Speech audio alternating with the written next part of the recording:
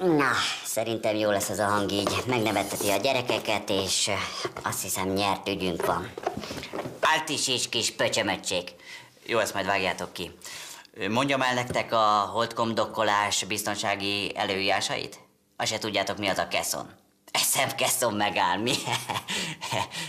Na jó, szerintem normálisan. Általános iskolás, kedves tanulók, leendő ügyesek és munkaügyesek. Az ű a világ egy felfoghatatlanul nagy részét teszi ki, és ahhoz hasonlít, ami most a fejetekben van.